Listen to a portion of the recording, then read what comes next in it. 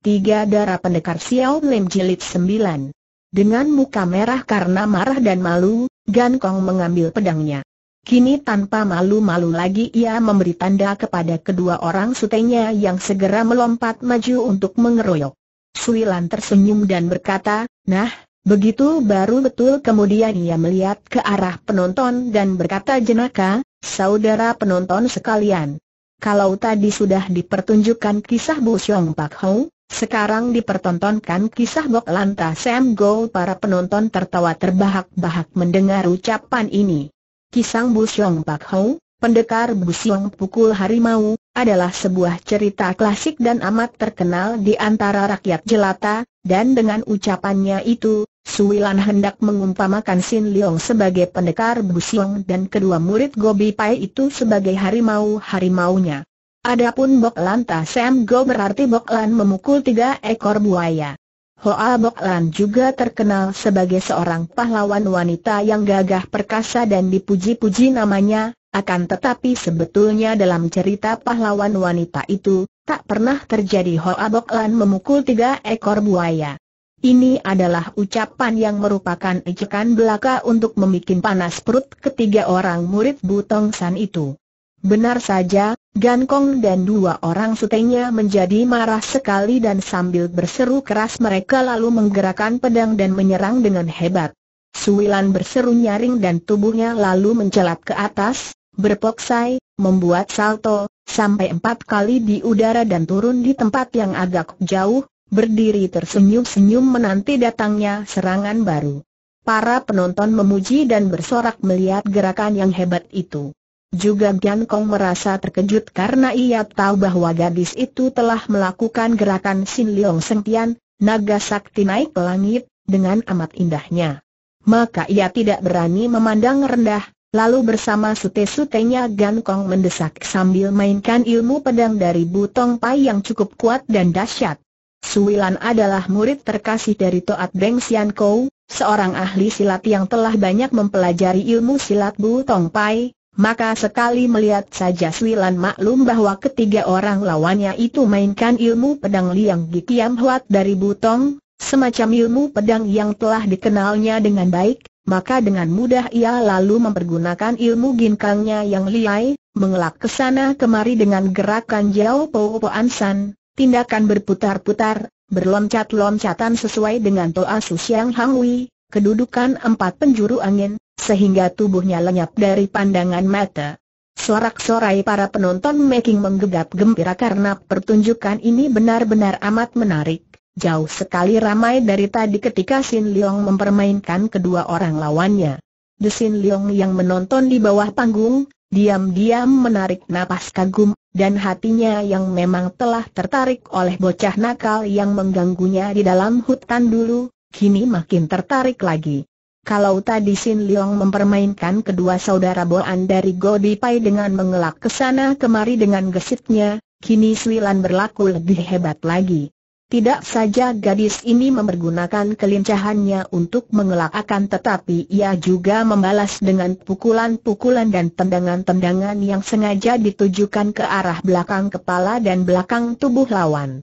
Maka berkali-kali terdengarlah suara plak plak ketika belakang kepala Gankong dan sute-sutainya ditempeleng oleh telapak tangan Suilan, dan suaran bakbuk ketika belakang tubuh mereka kena ditendang. Gadis yang mempunyai watak nakal dan suka menggoda orang itu sengaja tidak memukul atau menendang keras untuk menimbulkan luka parah, akan tetapi cukup mendatangkan rasa sakit pada tubuh dan hati. Para penonton benar-benar mendapat hiburan yang menggembirakan dan tiada hentinya terdengar suara mereka tertawa dan bersorak, seakan-akan mereka sedang menonton pertunjukan anak-anak wayang sedang melawak.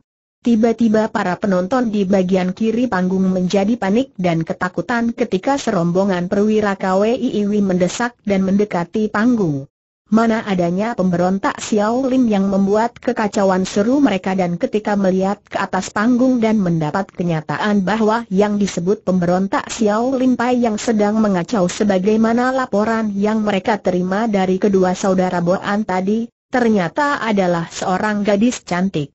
jelita yang dengan lincah dan jenaka sedang mempermainkan Gankong dan kedua orang sutenya. Tak terasa lagi, sembilan orang Kim Iwi itu berdiri bengong dan bahkan ikut menonton. Sementara itu, Suwilan yang sudah mulai merasa bosan dengan main-main ini, lalu bergerak cepat dan kini ia menyerang dengan Hun Kincoh Kut Jil ilmu pukulan putuskan otot lepaskan tulang. Dengan gerakan-gerakan yang cepat sekali ia mendesak dan terdengarlah teriakan-teriakan kesakitan, disusul dengan robohnya ketiga orang pengeroyok itu seorang demi seorang dengan tulang lutut terlepas atau otot-otot terkelecoh karena pukulan-pukulan Swilan. Pada saat itu barulah para perwira Kim Iwi itu sadar dan dengan cepat mereka lalu berlompatan ke atas panggung sambil berteriak, Tangkap pemberontak Xiao Lim melihat kedatangan orang-orang ini, Suwilan terkejut dan mencabut pedangnya. Dan terjadilah pertandingan hebat di atas panggung di antara Suwilan dengan para Kim Iwi yang banyak jumlahnya itu. Tiba-tiba dari bawah panggung melompatlah bayangan putih dan ternyata bahwa yang melompat itu adalah Desin Leong yang membantu Suwilan sambil mainkan pedangnya dan berseru, Bocah nakal, jangan takut, Aku membantumu kakek tua rentas Wilan membalas. Siapa takut dan siapa pula membutuhkan bantuanmu akan tetapi Sin Leong tidak peduli, hanya tertawa dan tetap membantu. Adapun para Kim Iwi ini rata-rata memiliki kepandaian yang lumayan juga sehingga pertempuran berjalan seru dan hebat. Para penonton berlari pergi dari situ dengan ketakutan sehingga tempat itu menjadi sunyi sekali. Baru saja Swilan dan Sin Leong berhasil merobohkan dua orang pengeroyok, tiba-tiba dari jauh datang serombongan perwira lagi yang dikepalai oleh seorang perwira tinggi besar gagah. Sin Leong yang melihat perwira ini datang berkuda dari jauh, cepat berkata kepada Swilan, Nona, mari kita pergi. Makin banyak yang datang mendengar sebutan pemuda itu, Suwilan maklum bahwa Sin Leong tidak main-main, maka ia pun lalu melompat keluar dari panggung, akan tetapi ia teringat akan sesuatu dan melompat naik lagi. Sebelum para pengeroyok tahu akan maksudnya, secepat kilat Swilan menyerbu kepada tiga orang murid Butong Pai yang masih duduk mengadu-adu dan tiga kali pedangnya berkelebat, terdengar teriakan tiga kali dan daun-daun telingan sebelah kanan dari Gankong dan dua orang sutenya telah terbabat putus. Suilan tertawa nyaring dan berkata, biarlah hukuman ini membuat kalian tidak berani lagi melakukan pekerjaan memetik bunga kemudian, sebelum para pengeroyoknya mendesak lagi, ia lalu mempergunakan ilmu lompat jauh yang disebut Liok Tawi Teng Kang Hu dan tubuhnya melayang dari atas panggung itu, menyusul bayangan Sin Leong yang sudah lari jauh. Karena Gin Kang dari Suilan telah tinggi, maka sebentar saja ia dapat meninggalkan para pengejarnya. Akan tetapi ia merasa mendongkol sekali melihat betapa Sin Leong berlari terus sifat kuping bagaikan dikejar setan. Pemuda itu berlari cepat sekali tanpa menoleh dan betapapun cepat Swilan mengejar, tetap saja jarang antara dia dan pemuda itu tidak berubah. Setelah tiba di sebuah padang rumput di lereng sebuah bukit kecil, Suwilan lalu berteriak keras, Haai. Tua bangka penakut, tunggu dulu teriakannya ini keras sekali dan pemuda di depannya itu lalu berhenti. Ketika Swilan tiba pula di tempat itu dengan mulut cemberut, dan hendak marah karena pemuda itu demikian sombong dan hendak mengajaknya mengadu kepandaian, tiba-tiba rasa marahnya lenyap karena ia melihat betapa pemuda itu nampak pucat dan ketakutan. Eh, eh, kau kenapakah? tanya Swilan dengan heran. Pemuda itu menarik napas panjang beberapa kali untuk menenteramkan hatinya, barulah ia berkata sambil mencoba tersenyum, kau telah membuat aku bermusuhan dan bertempur dengan barisan Kim Iwi. Kalau mereka tahu bahwa aku adalah keponakan seorang perwira, tentu celakalah aku Swilan cemberut. Siapa suruh kau membantu? Aku tidak membutuhkan bantuanmu, bahkan kau lancang sekali berani membantuku tadi pemuda itu memandang dengan lucu dan senyumnya melebar. Teruskan marahmu. Aku senang sekali melihat kau marah-marah kini Swilan memandangnya dengan heran dan melihat sepasang mata yang tajam itu berseri seakan-akan mentertawakan, ia makin marah. Mengapa kau senang melihat aku marah? Apakah kau anggap aku orang gila Sin Leong menggeleng kepala dan senyumnya makin melebar tanda hatinya gembira sekali. Nah, nah, makin besar marahmu, makin kau tajamkan dan cemberut, makin manislah kau tua bangka ceriwis bentak Swilan dan tangannya melayang untuk menampar pipi Sin Leong. Sin Leong tidak mengelak atau menangkis, bahkan ia mengangkat mukanya untuk menerima tamparan itu. Setelah tangan Suilan dekat dengan pipi pemuda itu, Suilan cepat menarik kemabli tangannya karena sebetulnya ia pun tidak ingin menampar sungguh-sungguh. Tidak tega dia melihat wajah tampan yang manda saja menerima tamparan itu. Sin Leong tersenyum. Nah, nah, kau tidak jadi menampar. Memang sudah kuduga hal ini maka aku tidak mengelak. Bagaimana kau bisa menduga lebih dulu? Kalau aku melanjutkan tanganku bukankah pipimu akan menjadi bengkak-bengkak dan gigimu akan copot Sin Leong menggelengkan kepalanya. Tak mungkin. Aku sudah menduga bahwa darah secantik kau ini tak mungkin berhati kejam. Orang seperti kau harus memiliki hati yang mulia, biarpun mulutnya masih cemberut, akan tetapi di dalam hatinya, Suwilan merasa senang sekali. Pemuda yang tampan dan menarik hatinya ini biarpun mengeluarkan ucapan-ucapan yang sifatnya jenaka dan nakal menggoda, akan tetapi mengandung pujian-pujian terhadap dirinya yang benar-benar menggembirakan hatinya. Nona, sebenarnya siapakah kau dan di mana rumahmu? Aku adalah orang dan rumahku tidak kubawa, jawab Swilan jenaka. Tentu saja. Memangnya kau kura-kura yang membawa rumahnya ke mana-mana kata Sin Leong tertawa. Jangan main-main, Nona. Kita telah bertemu dan bercakap-cakap seperti sahabat lama. Sudah sepantasnya kalau kita saling mengenal nama dan mengetahui riwayat masing-masing. Sekali lagi ku ulangi dengan hormat. Di manakah tempat tinggalmu, siapa namamu, dan dari mana hendak ke mana ku terima pertanyaanmu dan ku kembalikan kepadamu, apa artinya kata-katamu itu kau harus menceritakan keadaan dirimu sebelum tiba giliranku? Sin Leong tersenyum. Kau benar-benar nakal dan juga cerdik. Ditanya belum menjawab sudah berbalik menanyakan keadaan si penanya. Baiklah, memang pria selalu harus mengalah terhadap wanita. Dengarkan aku bercerita, pemuda itu lalu duduk di atas sebuah batu dan Swilan yang juga merasa lelah karena pertempuran dan berlari-lari tadi, lalu duduk menghadapinya, di atas rumput. Namaku di Sin Leong dan aku seorang yatim piatu, tak berayah tak beribu, baru saja menutur sampai di sini, entah mengapa, Hati Swilan merasa amat terharu dan tak terasa lagi sinar matanya yang ditujukan kepada pemuda itu berubah mesra. Mungkin karena ia teringat akan keadaannya sendiri yang telah yatim piatu pula. Orang tuaku meninggal dunia ketika aku masih kecil, pemuda itu melanjutkan penuturannya. Baiknya aku mempunyai seorang paman yang baik hati dan yang membiayaiku bersekolah, Kemudian setelah aku berusia 10 tahun aku lalu diajak tinggal di gedungnya dan dianggap sebagai puterannya sendiri. Aku benar-benar berhutang budi kepada pamanku itu. Kemudian aku bertemu dengan suhuku, yakni Pet Jiusin Kai Kwe Esin, dan menjadi muridnya. Selama hampir 10 tahun aku dibawa merantau oleh suhu, bersama seorang suhengku yang kini telah kembali ke rumah orang tuanya di kota Raja. Sekarang karena aku telah tamat belajar, aku hendak mencari pamanku di kota raja, sekalian mencari suhengku yang bernama So Chong Hwi, Sin Leong memandang kepada gadis itu dengan mata berseri. Dan tidak kusangsa sama sekali, sebelum sampai di kota raja, aku bertemu dengan kau di dalam hutan itu. Semenjak pertemuanku itu aku selalu terkenang dan ingin bertemu lagi, Siapa kira harapanku itu terkabul dan hari ini kita bisa bercakap-cakap di tempat ini sungguh tian bersifat murah dan bukan main bahagianya hatiku dengan pertemuan ini, mendengar pernyataan yang jujur dan ucapan yang menyindirkan perasaan hati pemuda itu terhadapnya, Suwilan hanya menundukkan mukanya yang menjadi merah karena jengah. Ia diam saja sehingga setelah Sin Leong berhenti bercerita. Keadaan menjadi sunyi. Eh, Mengapa kau diam saja?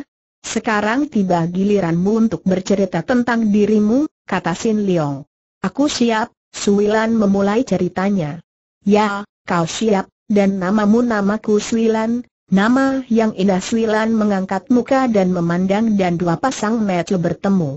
Kalau kau tidak menutup mulutmu, aku takkan melanjutkan ceritaku katanya cemberut.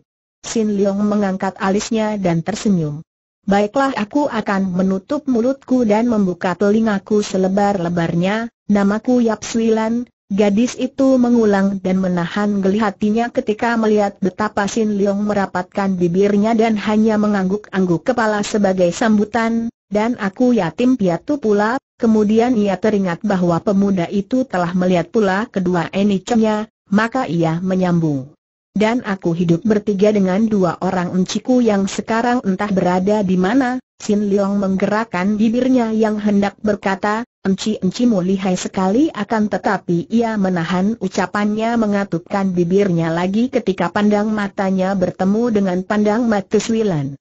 Kami bertiga juga telah taman belajar silat dan turun gunung untuk, untuk, ah, hanya sekianlah ceritaku tentang keadaanku Sin Leong memandang tak puas.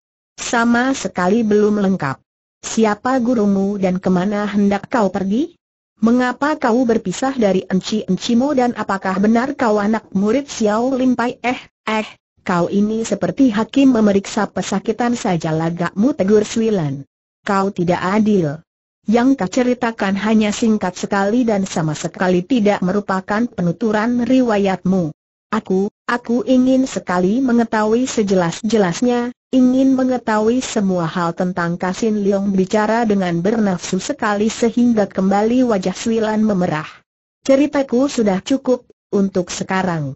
Kita baru saja berkenalan, hektometer, kau tidak percaya kepadaku, guruku pernah berpesan agar supaya aku tidak menaruh kepercayaan kepada orang yang baru saja dikenal, terutama kalau orang itu laki-laki ah, Gurumu tentu seorang wanita bagaimana kau bisa tahu hanya wanitalah yang bisa menaruh hati curiga seberat itu terhadap pria. Akan tetapi biarlah, karena kita memang baru berkenalan. Mengetahui namamu saja sudah cukup menggembirakan hati. Suilan, eh, tentu aku boleh menyebut namamu, bukan tentu saja boleh, memang nama diadakan untuk disebut orang, bagus. Nah, Suilan, Andai kata kau pun menuju ke jurusan yang sama, beranikah kau melakukan perjalanan bersama aku mengapa tidak berani? Apa yang kutakutkan bagus. Kalau begitu, mari kita melakukan perjalanan bersama Swilan merasa betapa ia telah masuk perangkap. Alangkah jenaka dan cerdinya pemuda ini. Akan tetapi ia tidak menyesal dan memang suka melakukan perjalanan bersama seorang pemuda yang selain lihai ilmu silatnya juga merupakan kawan yang jenaka dan menggembirakan ini. Boleh, asal kau tidak menggangguku. Aku pun hendak pergi ke kota raja, girang sekali hati Sin Leong mendengar ini, kentara dari mukanya yang tersenyum-senyum dan matanya yang berseri-seri. Mereka lalu melanjutkan perjalanan berdua dan hubungan mereka makin baik saja. Terdapat kecocokan watak antara keduanya dan perjalanan itu dilakukan dengan penuh kegembiraan. Yang amat menarik hati Swilan adalah kenyataan bahwa pemuda itu, biarpun suka bergurau, akan tetapi selalu membatasi diri dan berlaku sopan santun terhadapnya, belum tentu pernah berani memperlihatkan sikap kurang ajar. Tak heran apabila hati gadis itu makin tertarik. Juga Sin Leong merasa hatinya telah jatuh betul-betul. Melakukan perjalanan bersama gadis ini merupakan kebahagiaan yang luar biasa baginya. Segala apa yang nampak di perjalanan berubah menggembirakan. Setiap tangkai bunga tersenyum-senyum kepadanya dan daun-daun seakan-akan menari dan melambai-lambai kepadanya, burung-burung bernyanyi gembira merayakan kebahagiaannya dan matahari bagaikan mencurahkan cahaya emas yang indah. Pendeknya dunia ini seakan-akan berubah menjadi surga sebagaimana yang diceritakan dalam dongeng. Setelah melakukan perjalanan dengan Sin Leong selama kurang lebih sepuluh hari, Suwilan tak merasa ragu-ragu lagi bahwa pemuda ini memang seorang pendekar muda yang budiman dan boleh dipercaya. Maka, ketika pemuda itu mengulangi pertanyaannya tentang riwayat hidupnya, ia tidak mau merahasiakannya lagi. Hal ini terjadi ketika mereka bermalam di sebuah dusun, dalam sebuah kelenteng tua. Bulan purnama menerangi seluruh permukaan bumi dan mendatangkan suasana yang amat romantis bagi orang-orang muda. Suilan dan Sin Leong duduk di pekarangan kelenteng itu, di atas bangku-bangku tua yang terbuat dari batu. Suilan, pemuda itu mulai membuka percakapan, sesungguhnya apakah yang kau kehendaki pergi ke kota raja? Apakah kau mencari seseorang di sana atau hanya untuk melancong saja? Untuk menjawab pertanyaanku ini, aku harus menceritakan riwayatku, Sin Leong, jawab gadis itu. Mengapa tidak kau ceritakan saja aku telah lama ingin sekali mendengarkannya, Sin Leong, pernahkah kau mendengar tentang orang yang bernama N.I.O. Hun Tiong dan Yap Sian Ho sambil bertanya demikian, Suilan memandang tajam. Ia mengambil keputusan untuk menggunakan jawaban pemuda itu atas pertanyaan ini sebagai dasar dari keputusannya melanjutkan penuturan riwayatnya atau tidak. Sin Long mengerutkan kening mengingat-ingat. Kalau tidak salah, itu adalah nama dua orang pendekar gagah perkasa dan menjadi tokoh-tokoh Xiao Limpai yang dibasmi oleh Kaisar. Legalah hati Swilan mendengar jawaban ini, karena kalau saja pemuda itu menyebut mereka sebagai pemberontak-pemberontak, tentu ia tidak akan mau melanjutkan ceritanya. Ketahuilah, untuk membalaskan sakit hati kedua orang pendekar itulah maka aku dan kedua enciku pergi ke kota raja. Semenjak kecil, kami bertiga dipelihara oleh pendekar Yap Sian Ho itu yang kami anggap sebagai ayah sendiri, dan kami adalah murid-murid dari Toat Beng Sian Kou, Sin Leong mengangguk-angguk. Aku pernah mendengar nama pertama wanita yang lihai ini dari suhu. Pantas saja kepandaianmu demikian hebat, seperti yang pernah kau dengar, N.I.O. Hun Tiong terbunuh mati oleh seorang perwira kerajaan ketika ia memimpin pasukan petani untuk menumbangkan pemerintah yang dianggapnya tidak adil dan jahat, sebagai usahanya membalas sakit hati karena Xiao Lim si dibakar hal ini aku kurang mengerti, karena semenjak kecil aku telah belajar silat dan ikut suhu merantau. Sebelum ikut suhu, aku masih terlampau kecil untuk mengetahui urusan dunia, apalagi karena orang tuaku tinggal di dusun yang jauh dari kota raja, jawab Sin Leong. Seperti yang telah kuceritakan tadi, N.I.O. Hun Tiong dibunuh oleh seorang perwira kerajaan, dan kemudian setelah kami menjadi murid-murid Toat Beng Sian Kou, pada suatu hari Apsian Ho yang kami anggap sebagai ayah sendiri itu datang dengan luka parah dan tak lama kemudian meninggal dunia. Dan tahukah kah siapa pembunuhnya? Tak lain ialah perwira yang dulu membunuh N.Y.O. Hun Tiong. Maka, kami bertiga lalu turun gunung untuk mencari perwira itu dan membalaskan sakit hati N.I.O. Hun Tiong dan Yap Sian Ho dan kami tidak ragu-ragu untuk mengatakan bahwa kami adalah anak-anak murid Xiao Lim Pai. Sungguh pun guru kami tak dapat disebut tokoh Xiao Lim Pai Sin Leong mengangguk-angguk. Aku dapat memahami perasaanmu dan enci-encimu. Hutang budi memang berat.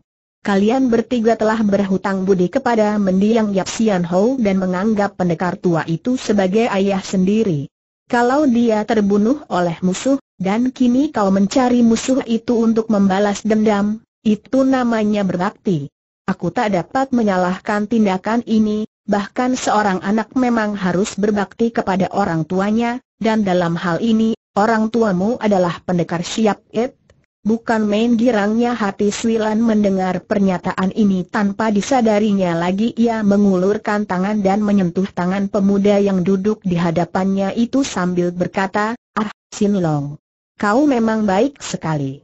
Aku girang bahwa kau menyetujui usaha kami untuk membalas dendam, dan karena aku selama hidup belum pernah pergi ke kota raja dan sekarang telah berpisah dari enci-enciku, maka aku mengharapkan bantuanmu sebagai seorang kawan untuk mencari tahu tempat tinggal perwira musuhku itu dengan hati berdebar Sin Leong memegang tangan gadis itu dan kedua tangan itu saling berpegang erat. Suilan, demi Tuhan. Aku bersumpah di bawah sinar bulan purnama, bahwa aku akan membantu dan membelamu, biarpun untuk itu aku harus berkorban nyawa sekalipun ucapan ini dikeluarkan dengan bibir gemetar dan Swilan tak berani menentang pandang mata pemuda itu lebih lama lagi.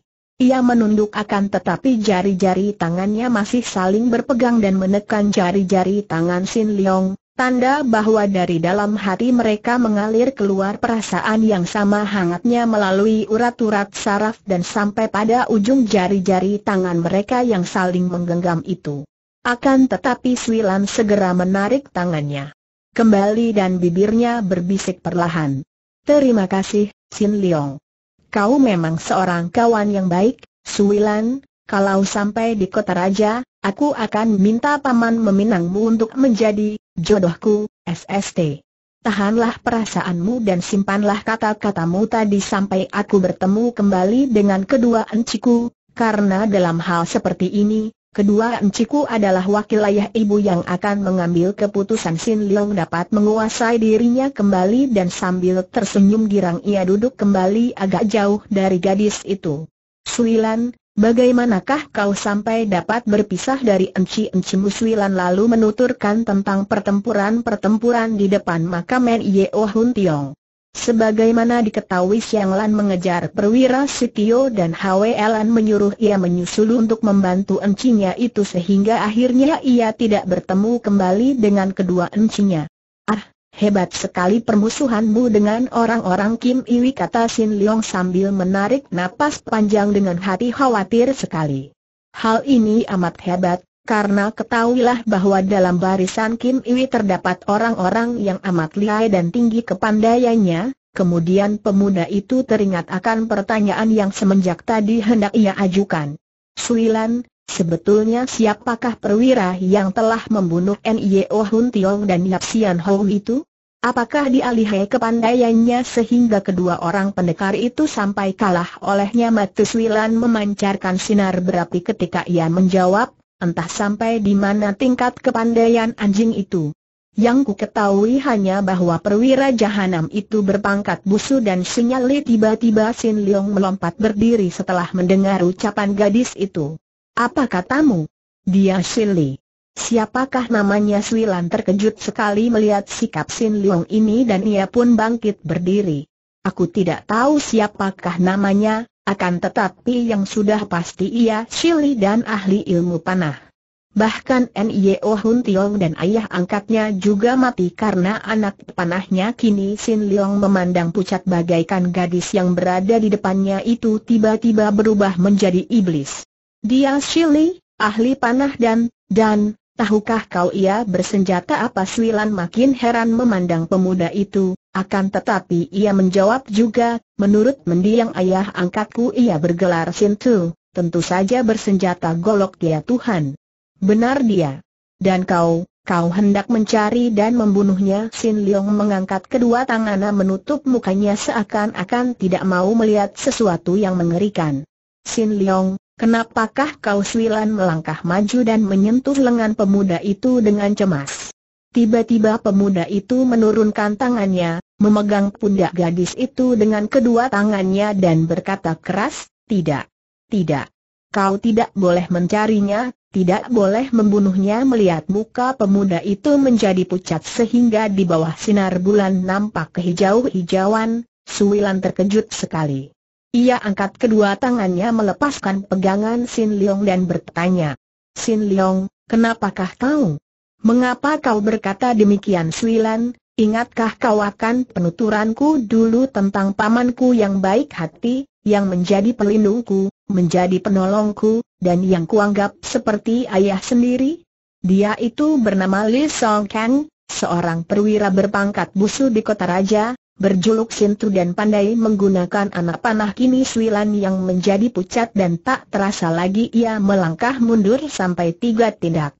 Apa, jadi dia itu, pamanmu itu, adalah jahanam yang menjadi musuhku jangan memaki dia. Kau tidak boleh menghinanya, tidak boleh membunuhnya. Aku, aku akan menghadapi siapa saja yang hendak mengganggu pamanku itu bagus dengan mata berapi-api, Suwilan mencabut pedangnya. Jadi kau hendak membela seorang jahanam? Tak peduli dia itu pamanmu, atau ayahmu sendiri, Aku akan mencari dan membunuhnya tidak boleh Sin Leong juga mencabut pedangnya. Aku akan menghalanginya bagus. kalau begitu kaulah yang harus mati lebih dulu seru Swilan sambil melompat ke depan dan menyerang dengan tusukan hebat.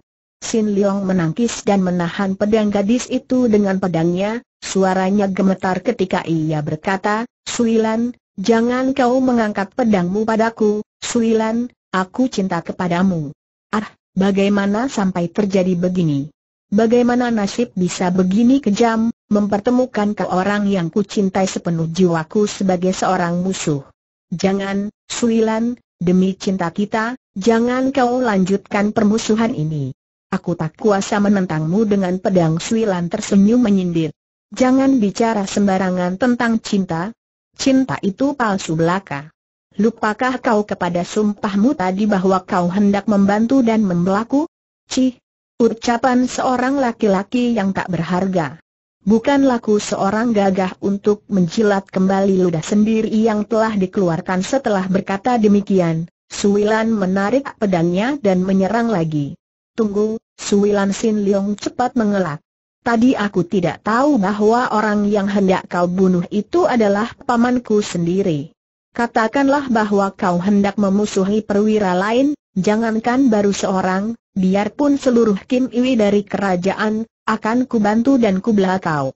Akan tetapi jangan dia, jangan perwira Li Song Kang, jangan pamanku pengecut. Tak usah banyak cakap. Lihat pedangku Swilan menyerang lagi dengan sengit dan dalam pandangan matanya, kini pemuda itu telah berubah menjadi musuh besarnya yang harus dibunuh. Terpaksa Sin Leong menangkis dan dengan hati sedih pemuda itu melayani Swilan bertanding pedang. Mereka sama lincah, sama cepat dan ilmu pedang mereka sama kuatnya sehingga pertempuran itu benar-benar hebat dan sengit sekali. Pedang mereka berkelebat menyambar-nyambar, tubuh mereka lenyap dan selimutan sinar pedang, dan di bawah sinar bulan purnama, mereka kelihatan bagaikan dua ekor ular bersayap yang berterbangan dan bermain-main di alam mega-mega putih. 50 jurus telah lewat, 60, 70, seratus jurus. Dan mereka masih saja bertanding mati-matian, tidak ada yang mau mengalah.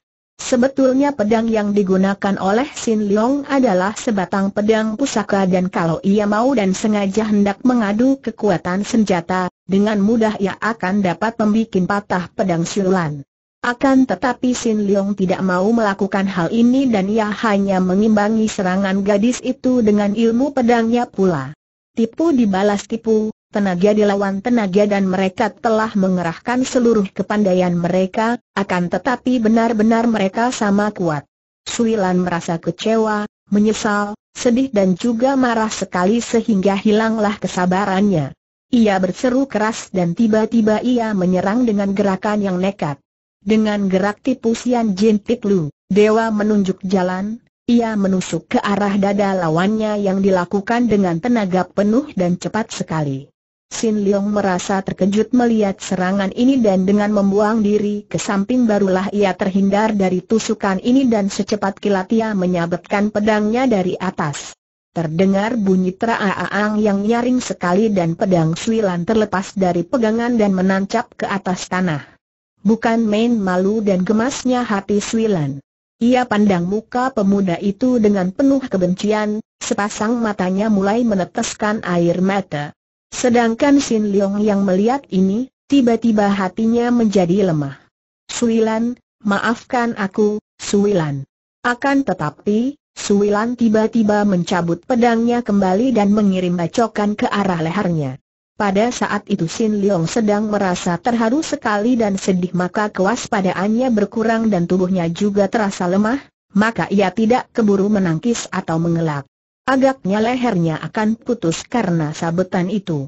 Akan tetapi melihat wajah pemuda itu, kebencian yang tadi membayang di mata Swilan tiba-tiba lenyap bagaikan awan tersapu dengan angin dan ia menahan pedangnya yang telah meluncur ke arah leher. Namun terlambat, karena ujung pedangnya masih saja menyerempet pundak Sin Leong hingga kulit pundak itu terluka, dan robek berikut bajunya. Darah merah mulai membasahi pakaian Sin Leong. Aswilan berseru terkejut dan wajahnya menjadi makin pucat. Akan tetapi ia melihat pemuda itu tetap tersenyum memandangnya, sedikit pun tidak menjadi marah. Suilan, Akan kau teruskankah pertempuran gila ini? Aku tidak. Kalau kau merasa penasaran, tusukkanlah pedangmu pada dadaku, aku takkan melawan. Lebih baik kau bunuh dulu aku sebelum kau bunuh pamanku akan tetapi, sebagai jawaban, Suwilan hanya menangis terisak-isak menutupi mukanya dan air mata mengalir di antara celah-celah jari tangannya. Suwilan, Sin Leong melangkah maju hendak memeluk gadis itu, akan tetapi tiba-tiba Suwilan mengelak dan melompat pergi, terus berlari cepat sambil menangis. Sin Leong hanya menarik napas panjang. Sin Leong yang berpisah dari Swilan melanjutkan perjalanannya ke kota raja dengan hati sedih, sedangkan Swilan yang merasa bingung itu melanjutkan perjalanannya dengan berlari cepat dan tidak mau bertanya kepada orang-orang di jalan, sehingga akibatnya ia tersasar. Ia berada di Provinsi Honan dan menurut petunjuk gurunya, Seharusnya ia pergi ke kota raja melalui provinsi Santung yang berada di timur laut, akan tetapi tanpa diketahuinya ketika melalui persimpangan jalan, ia mengambil jalan yang memblok ke selatan sehingga ia memasuki provinsi Kiangsi. Setelah beberapa pekan kemudian ia tiba di kota Namkang barulah ia tahu bahwa ia telah tersasar ke selatan, padahal ia pergi ke utara. Oleh karena sudah kepalang, maka Swilan lalu mengambil keputusan untuk berpesiar dulu di daerah yang cukup indah itu untuk menghibur hatinya yang merasa kecewa dan berduka semenjak perpisahannya dengan Sin Leong. Ia harus mengakui di dalam hatinya bahwa setelah berpisah ia melakukan perjalanan seorang diri yang paling tidak enak dan jauh berbeda dari perjalanan yang ia lakukan dengan pemuda itu. Kalau tadinya ia bergembira ria dan merasa bahagia sekali, Kini ia merasa patah hati. Tentu saja ia tidak pernah menyangka bahwa musuh besarnya yang ia cari-cari yakni perwira Shili itu, kini telah pindah ke kota Siangkan Bun di Provinsi Kiangsi, tidak jauh letaknya dari tempat di mana ia berada, yakni di Namkeng. Dan lebih-lebih ia tak pernah mengira bahwa kedua encinya juga sedang menuju ke Kiangsi dengan cepat, datang dari kota raja. Tidak tahu pula bahwa selain kedua orang encinya, terdapat beberapa orang lagi menuju ke selatan, dan di antaranya terdapat Sin Leong. Untuk beberapa hari lamanya, sampai hampir sebulan, Suwilan berputar di daerah Kiangsi, dan nafsunya untuk mencari musuh besarnya di kota raja banyak mengurang. Ia merasa ragu-ragu untuk pergi ke kota raja dan mencari perwira Shili itu, karena segan kalau-kalau ia harus bertanding melawan Sin Leong. Ia sama sekali tidak merasa takut menghadapi Sin Leong, hanya segan, karena ia maklum bahwa baik Sin Leong, maupun dia sendiri, takkan sampai hati untuk saling melukai apalagi membunuh. Kita tinggalkan dulu Swilan yang sedang bimbang ragu dan berputar-putar di sekitar daerah Kiangsi tanpa tujuan, akan tetapi yang kebetulan sekali membawanya makin dekat dengan tempat tinggal musuh besarnya itu. Kita sekarang menengok perjalanan Sianglan yang telah lama kita tinggalkan. Semenjak perpisahannya dengan kedua orang adiknya, Xianglan melanjutkan perjalanan dengan cepatnya, sesuai dengan kehendak suhunya, yakni melalui provinsi Shenxi, Hopai, Honan, Santung, dan akhirnya ia sampai di kota raja. Di sepanjang jalan, pengalamannya bertempur dengan Ang Hoa Siang Mo dan bantuan yang ia dapatkan dari pemuda yang amat menarik hati, Kui Hang An anak murid Kun Lun Pai yang berkepandaian tinggi itu, selalu terbayang di muka matanya. Ia tak dapat melupakan Hang An dan diam-diam ia mengharapkan perjumpaannya kembali dengan pemuda itu. Ketika Xiang Lan tiba di luar tembok kota raja, ia mengalami hal yang amat mengherankan hatinya. Hari itu amat panas dan sinar matahari amat teriknya. Di luar gerbang kota raja, terdapat seorang penjual arak dan teh di pinggir jalan dan dagangannya ini laris manis sekali oleh karena setiap orang yang keluar maupun memasuki pintu gerbang itu merasa haus dan berhenti sebentar di tempat itu untuk membasahi kerongkongan. Xiang Lan juga merasa haus dan lelah, maka ia pun berhenti di situ, mengambil tempat duduk di atas sebuah bangku bambu memesan teh. Di tempat itu hanya terdapat tamu-tamu lelaki dan semua mata memandang ke arah gadis yang amat cantik jelita ini dengan sinar mata menyatakan kagum dan gairah. Sungguh pun mereka tidak berani memandang secara langsung oleh karena gagang pedang yang tersembul di belakang punggung Siang Lan itu memperingatkan mereka bahwa gadis ini bukanlah gadis yang boleh diganggu secara sembarangan saja. Akan tetapi Siang Lan sama sekali tidak memperhatikan mereka dan ketika pelayan datang mengantarkan air teh yang dipesannya, ia minum menghilangkan hausnya. Selain orang-orang yang terdiri dari pedang, pelancong dan pengembara yang berada di tempat itu, juga terdapat pula belasan orang tentara penjaga, dan juga beberapa orang pengemis yang berdiri atau duduk di atas lantai di luar warung. Ketika para penjaga itu melihat Siang Lan, Terjadilah hal yang aneh. Mati mereka jelalatan seperti melihat setan di tengah hari, bahkan mereka yang baru minum segera menunda minumnya. Seorang demi seorang, para penjaga itu meninggalkan bangkunya dan pergi dari situ seperti orang ketakutan. Hal ini tentu saja diketahui oleh Xiang Lan yang merasa heran, akan tetapi dia diam saja, hanya berlaku hati-hati dan waspada, karena ia selalu tidak menaruh kepercayaan kepada tentara kerajaan. Juga para tamu yang berada di situ dapat melihat sikap para penjaga ini, maka kini pandangan mereka terhadap Siang Lan mengandung keseganan dan ketakutan. Pada saat itu, seorang di antara para pengemis yang berada di luar warung, berseru, pada saat makan dan minum, teringat kepada orang-orang yang lapar dan haus, barulah disebut orang budiman. Siapakah di antara orang di sini yang berhati budiman pengemis itu berulang-ulang mengucapkan kata-kata ini sehingga para tamu memandangnya sambil tersenyum dan menganggapnya orang gila, akan tetapi tak seorang pun yang mau meladeninya.